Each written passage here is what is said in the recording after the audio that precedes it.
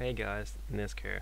Um, I'm going to do a tutorial on how to get a better user uh, experience using Ubuntu 12.04. Um, I've upgraded from 10.10 uh, mostly because now the CUDA development kit supports this new release and I figured why the hell no I had to install this in my laptop anyway so I kinda got used to it um, aside from that there's not an an awful lot of reason to upgrade. Uh, I suppose you get better drivers and more stability. Uh, so overall, if you have a moment, I'd say check it out. You can always get the old version back by reinstalling the, the old releases. Anyway, um, this is a fresh install. The only thing I installed is the desktop recorder.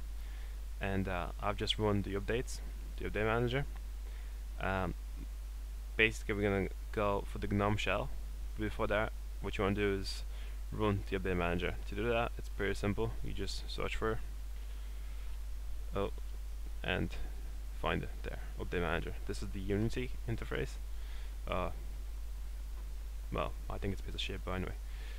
Point is yeah run the update manager install everything you find. Uh, it's okay because it's default packages so there's no conflicts as such so you should be fine. Just install it uh, restart your machine and we'll be good to go.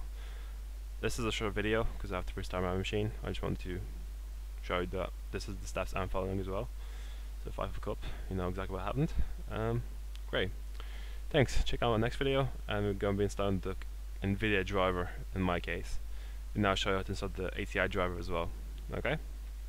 Great. Thanks. Oh dear damn it wrong one